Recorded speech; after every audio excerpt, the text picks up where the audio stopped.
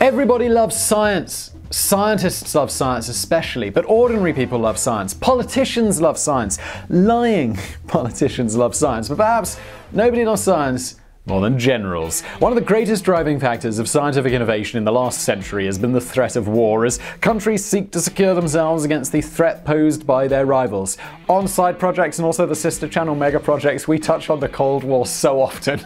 As like, yeah, this amazing technology was invented because Cold War again. To that end, some truly breathtaking amounts of resources have been poured into incredible feats of construction and or technology with the aim of defending a country from foreign aggression, a few of which we've got for you today. For the purposes of this video, what's present in the list today are not necessarily a grand project like the Great Wall of China or how Switzerland is basically just a giant bunker masquerading as a country. We don't want to pick relatively simple ideas that were turned up to 11. Instead, what this video is about are three national defense systems that were or are considered the best in the world at what they did. So without further ado, let's begin.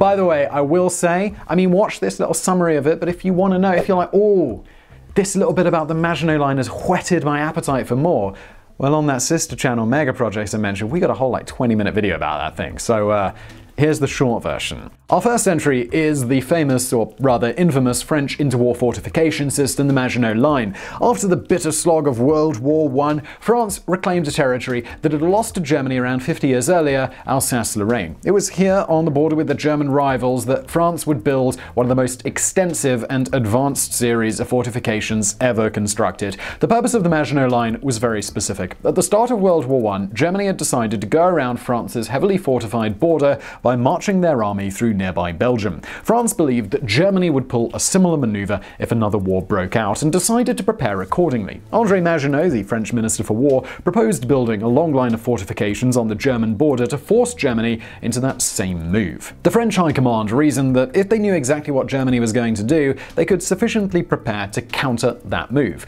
Of course, that isn't actually what happens. I mean, spoiler alert, but you probably already know this one. The forts that were eventually built under this program were, without question, the best in the world at the time. They were made of reinforced concrete and steel, capable of withstanding even penetrating rounds designed to break bunkers. They had retractable turrets capable of sinking into the grounds when not in use or under fire, and there were encampments for anything from mortars to machine gun nests to anti-tank guns. Some of the larger bunkers were equipped with underground railroads that allowed them to be resupplied from up to 50 kilometers away. As if that wasn't ostentatious enough, the forts had good good living conditions for the soldiers with mess hall areas and even air conditioning. The Maginot Line was so impressive that its forts served as the basis for other countries' fortification projects, notably Czechoslovakia. Of course, today the Maginot Line is remembered less for how impressive it was and more for how impressively useless it ended up being. It had the intended effect of forcing the German army to flank through Belgium, but the Allied forces botched that response and ended up being encircled at Dunkirk, including some of the best French divisions. From there, the Germans were free to push south through the rest of France and eventually encircle the Maginot Line, where the defenders were eventually forced to surrender. The most advanced system of forts in the world and it was basically taken without any fighting. But is this a legacy that the Maginot Line fairly earned? Historians aren't so sure. Andre Maginot had, from the start, envisioned the line as a channel to force the Germans northward, where they would be met by the French army. However, as the forts were being built, the media hyped the construction and exaggerated the strength of the fortifications to the public, leading to a belief there and among the army that the forts were impregnable. The historical evidence suggests that Maginot himself and the French High Command did not believe this. Instead, the reasons for France's swift defeat vary from faulty intelligence to out-of-date doctrine doctrine and not an over reliance on their fortifications. The generals saw the line as a way to push Germany into one course of action, and in that respect, it succeeded. That, at least, should be acknowledged.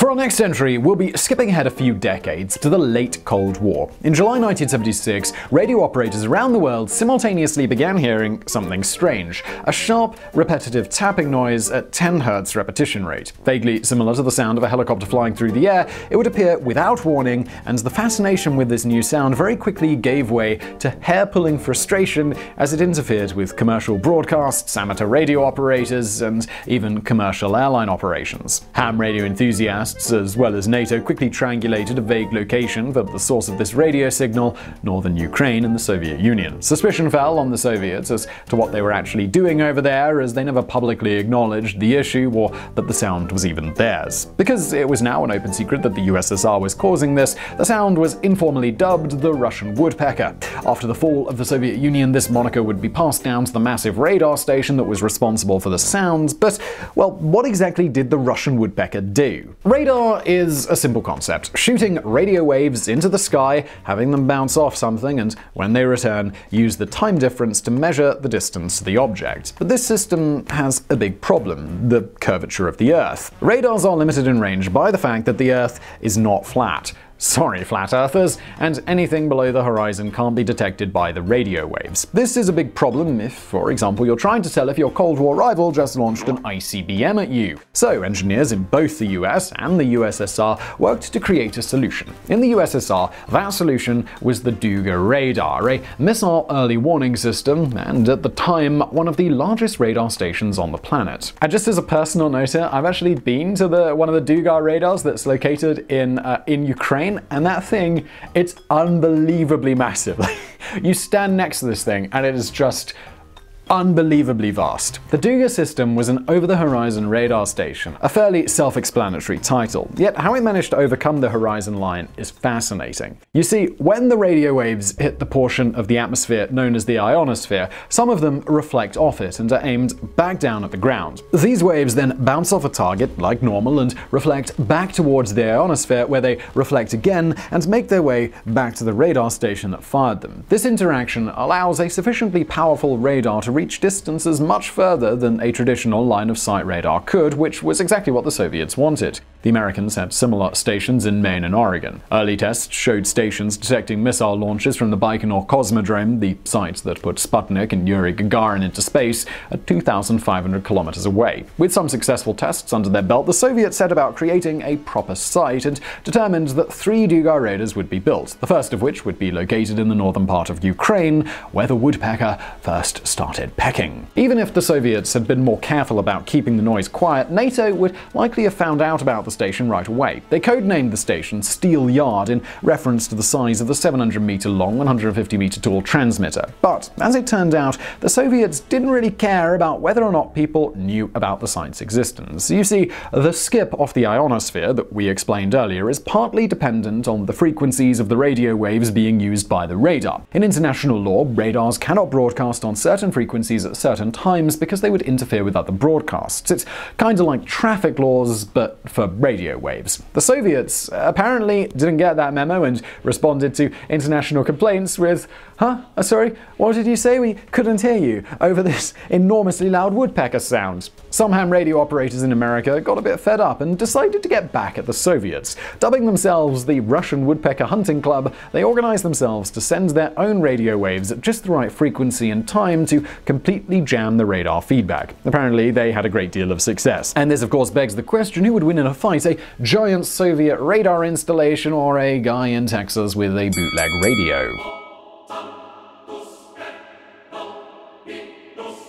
Our third and final entry also concerns the problem of missiles, specifically with shooting them down. It's often said that intercepting a launched missile is like trying to shoot a bullet with another bullet, except it's even harder. For that reason, anti ballistic missile systems are the line where even the US Armed Forces, notorious for dumping money into huge dud projects, thinks it's a waste of time. This was the reason why, in the 1990s, when Israel floated the idea of a short range missile interception system to stop rocket attacks by Islamic Islamist militants, American defense officials told the Israelis that it was doomed to fail. As rocket and mortar attacks continued, the idea remained in consideration, and in the mid 2000s, serious resources began to be allocated to the project. The eventual system that was developed came to be known as Iron Dome, and its development from 2005 to its deployment in 2011 was quick, on schedule, and actually under budget. That's a rare enough feat in the world of military industrial projects, but to do it for something that literally didn't exist before, really rare. And as if that wasn't good enough, it has a reported success rate of 95% in intercepting launched missiles and mortars. So, let's get into what makes this thing tick. The system itself consists of three parts, all working in tandem radar to detect and track incoming projectiles, a computer and software to do all of the calculations and determine if the system has to act, and the actual missile launcher utilizing the Tamir interceptor missile, which was developed specifically for Iron Dome. Iron Dome is a uniquely fascinating defense system system, a mix of surprisingly simple solutions to insanely difficult problems. As stated before, shooting missiles with other missiles is almost impossible, so they don't actually do that. Not really. Instead, the Tamir missile gets close to the projectile it's intercepting and then detonates when it gets within a predetermined range. This way, the missiles don't need to score direct hits to successfully intercept. Another problem that needed to be solved was that the Iron Dome needed to sufficiently protect a large area from rocket attacks all at once. To do this, the system was developed to be widely spread out, a departure from traditional CRAM systems that generally concentrate intercepting equipment in a single place. Last Lastly, there's the issue of cost, as the Tamir missiles cost $40,000 to take down $1,000 rockets. Well, they've got a bit of a solution to that, and that's using lasers instead of missiles. And no, this isn't sci fi or some crazy eccentric proposal from a madman. There's actually a laser based version of the Iron Dome that is being developed as we speak, and tests show that it's actually working. That's right, Star Wars, it seems, is finally here. And so, if you're somehow still not impressed with this system, then, well, this final thing might win you over over. The early test missiles allegedly used parts of a plastic toy car from Toys R Us, at least if one of the lead workers on the project is to be believed. It sounds preposterous, yet it would also be a weird thing to lie about. If nothing else, the Iron Dome can be called the only air defense system to use plastic toy parts to defend its country. So this was a pretty short video of some of the most notable national defense systems that humans have come up with, but even though we spent this video hyping up the cool technology, we'll end on a more somber note and say that you'd do yourself a favor to remember the reasons behind why these projects were built in the first place. As technology gets better, war gets deadlier. Things like ray guns sound amazing until you imagine the context in which they would be used. When Richard J. Gatling invented the Gatling gun in 1861, he said he did it because he believed this new technology technology would reduce casualties in future wars. A century later, another new technology, ostensibly built for the same purpose, nearly destroyed the world. With that in mind, the solution may not be getting better at fighting, but uh, working to stop fighting altogether.